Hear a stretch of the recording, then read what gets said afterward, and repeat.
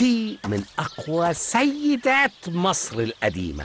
لها دور كبير مع زوجها الملك أمنحتب الثالث اللي حكم وقت الأسرة الثمنتاشر خصوصا إن فترته كانت عبارة عن سلام دائم وما خدش أي حروب ودي كانت فرصة للإزدهار وتحقيق الإنجازات.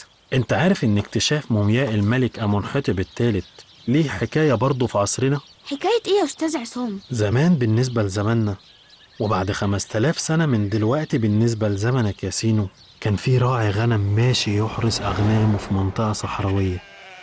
تعب من المشي ونام شوية في مكانه.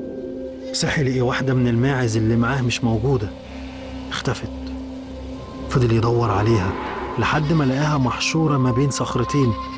حاول ينقذها وفعلا عرف يخرجها. لكن لاحظ حاجة غريبة.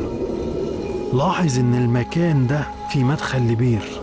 فضل يحاول ويحاول ويحاول لحد ما فعلا قدر ينزل. وهنا لقى عدد كبير من المومياوات الملكية والكنوز اللي فضل سر ليه ولعيلته حوالي عشر سنين. لغاية ما الدولة اكتشفت أمره سنة 1881 وتم اكتشاف خبيئة الدير البحري. وهي واحدة من أعظم الاكتشافات في تاريخنا. وبالمناسبة يا يحيى معظم مومياوات الموكب الملكي كانت في المكان ده. ياه معقول؟ الصدفة تعمل كل ده؟ الصدفة هي اللي جابتك هنا يا يحيى ولا انت نسيت؟ عندك حق يا أستاذ عصام. هي قصة جميلة وحدوتة ممتعة لكن برضو أنا حواديتي أحلى. ولا إيه رأيك يا يحيى؟ طبعا طبعا ياسين